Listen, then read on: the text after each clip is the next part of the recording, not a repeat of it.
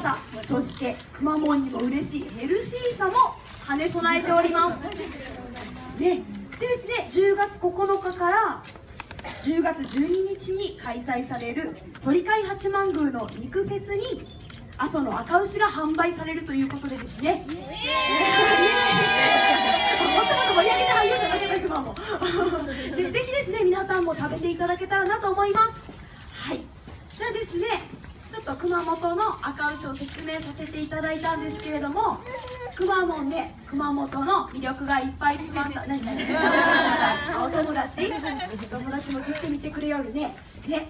熊本のですね魅力がいっぱい詰まった熊本体操をちょっとこちらで。やろうと思います。ありがとうございます。はい。ですねあのぜひですね皆さんお手手だけでもですね一緒にやってもらえたらとっても嬉しいです。ちょっと熊も練習はしようかまずですねお手手をお隣の方々にですねちょっと当たらないようにですねお願いします。はい。まずですねお手手を斜め前にシャキーンと上げます。せーのシャキーン。でですね熊本においでの気持ちを込めてですねおいでおいでおいでと3回します。せーのおいでおいでおいでオッケー反対もおいでおいでおいでねで両手で。もっとしてはいよもっとしておいでおいでおいでおいでおいでおいで。おいでおいで皆さん面白かったさすがです。ありがとうございます。でですね両手で大きく回してお手手を回します。でいないいないバーですね。バー。そうですそうです。上手です。ありがとうございます。でですね熊本には有名なお城の熊本城というお城があります。それをですね頭の上で三角を作ります。せーの熊本城。あら？熊本城。皆さん熊本城。頭の上で三角ですね。熊本城を作ります。そうですそうです。皆さん上手にできてますね。くまモンは？くまモンは？僕できる？頭の上で三角大丈夫？本当？いいいいじゃあちょっとやってみようかな。いくよせーの熊本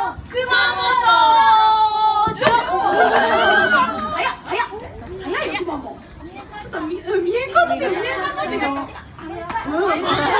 もう一回でもう一回ねあら、なんか固まったもう一回もう一回ちょっと見えんかった人を漏らすみたいだけどもう一回ねいくよせーの熊本城あらあらららららちょっとねくまモンねやっぱりちょっと頭の上にはですね届かないみたいなのでうん。ほら人面くんもちょっとほら人面くんもおっとねストラスケがくまモンじゃあ人面くんごめんなさいごめんなさい。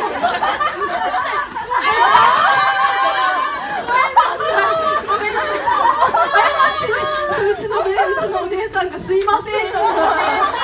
人面石くんごめん。あっちが前の人面石くんごめんね本当ねこそこそこそってこそこそこそってそうまだなんでごめんね人面石くんね。ごめんなさい。そうです。頭の上で三角ですね。皆さんお願いします。くまモンはお口の下でねくまモンなりの熊本城が作るもんね。うん。OK です。でですねよかったっていう可愛いポーズがあるんですけどはい。お口の下で顎の下ですね。失礼しました。顎の下でお手手を両手でグーにしてお尻をプリでよかったですね。せーの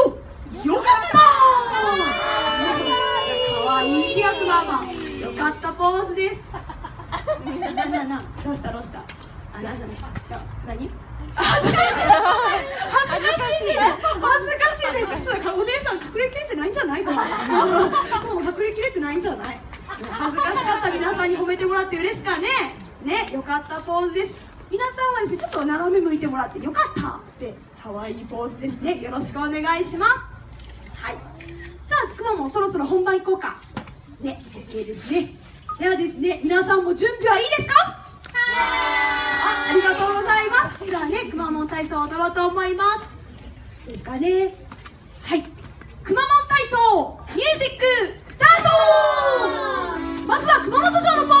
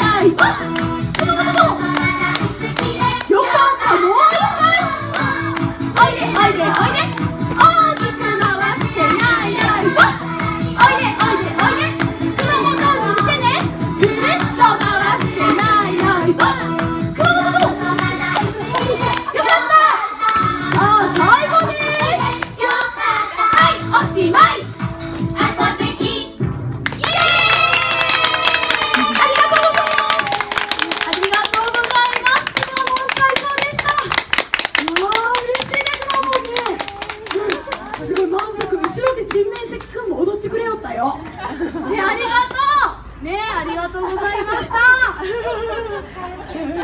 疲れも今からね人面石くんもねちょっとお仕事場せなんけんね。ねじゃあこちらでくまモンはですね失礼しようと思います。はい。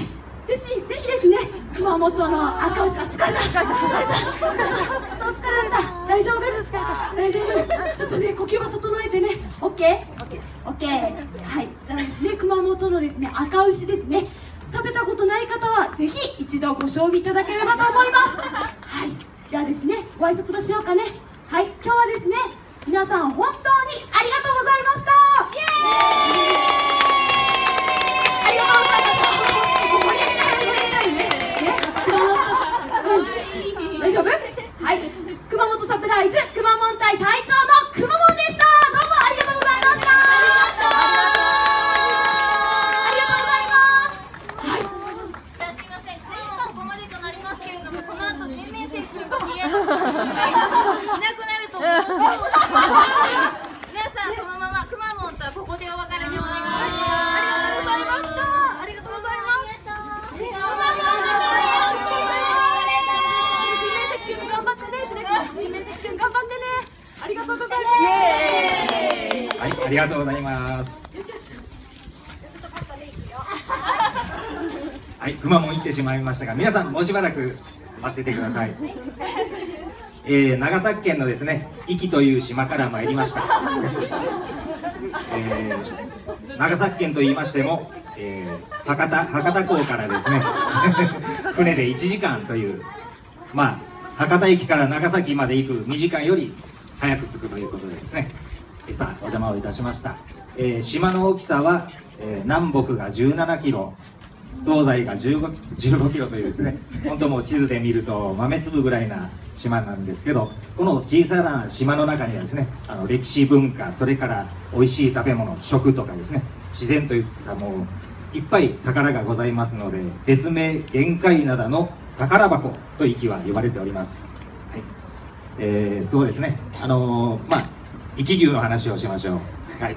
えーとですね生きはあのまず牛が食べる牧草があの潮風にですね吹かれてということでもう牧草がミネラルたっぷりになります。そのミネラルたっぷりな牧草を食べて生き牛というのがですねまた美味しく育つわけでございます。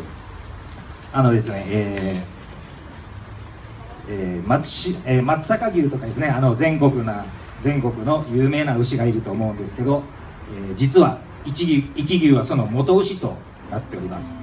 あのなんとか牛というのは育ったところの地域の名前が最終的につくようになっておりますので、はい、あの元は生きのものということが多いです、はい、それからちょっと歴史は遡りますけども鎌倉時代の末期ですね、えー1310年に書かれた、えー国牛十図国の牛。の10個の図。図説ですね。絵ですね。絵とか説明。にはですね、えー筑紫牛は姿よく。筑紫牛とありますが本来は、えー、壱岐の島の山であると書かれております、はい、これがですねあの元寇の際に、えー元軍の生贄、まあ、いわゆる食用とされたために、えー一時期少なくなってきたが、えー近年また多くなってきたということが書かれておりますのであの皆さんインターネットでも検索できますのでですね、はい、ぜぜひ調べてみてください。本当に「壱岐さん」と書いてありますので。もう一回言っときますね。えー国牛十図国牛十の図と、えーで検索してもらえば出てまいりますので、はい。えーそれから壱岐に芦部港という港があるんですけども、えーそこの港の近くに梅島というですね焼肉屋さんがあります、えもう港を降りたらすぐのとこなんですけどそこはもう昼ですねよく行列ができております。なかなか壱岐でこう飲食店で並ぶということはほとんどないんですけども外の店はですね結構あの行列ができております。まあもちろん壱岐の島の中にはあの壱岐牛をですね扱うお店がたくさんございます。ぜひあのロースとかですね本当もう口の中でとろけるようなもうああまり噛まなくていいような肉ですのでぜひご賞味いただきたいと思います。さて人面石くんですね。はい。えー弥生時代の春の辻遺跡というのが壱岐にございまして、えーそこの遺跡からじ実際、えー人面石というじ10センチぐらいの大きさのものが発掘されました。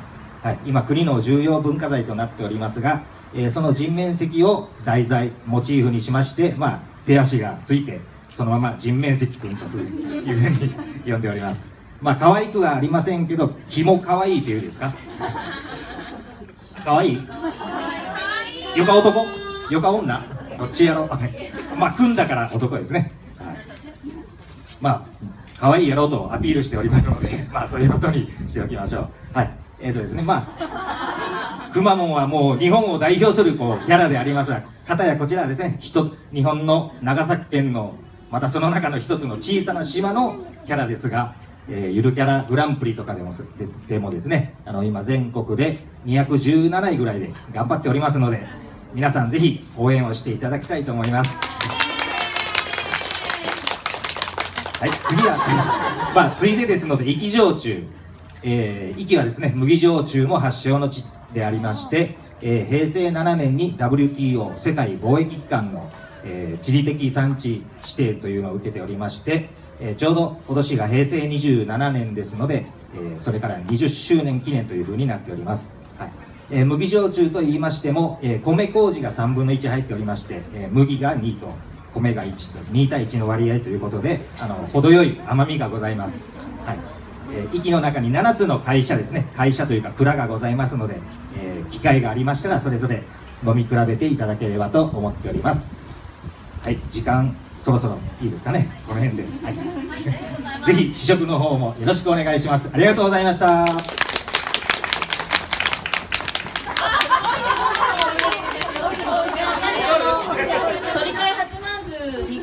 10月の9日から12日まで4日間行いますので、えーどうぞ皆さんのあの肉を食べに、えーと音楽ステージもありますので、えー、と11時から夜9時まで、えー、と4日間全部いらっしゃってもあの多分全部回れないかと思うのであの回りたい方は4日間全部聞いていただいた方がいいかなという感じでぜひよろしくお願いします。生き牛と赤牛のえー、とお店も、えー、と前半90が生き牛で1112が赤牛を出しますのでぜひ対決はしてないんですけどね。どっちが美味しいかでも2回来た方がいいですね。あそうですね。赤牛生き牛食べにと赤牛食べにと来ていただいたらすごいありがたいなと思いますのでどうぞよろしくお願いします。すいません。今日どうもありがとうございました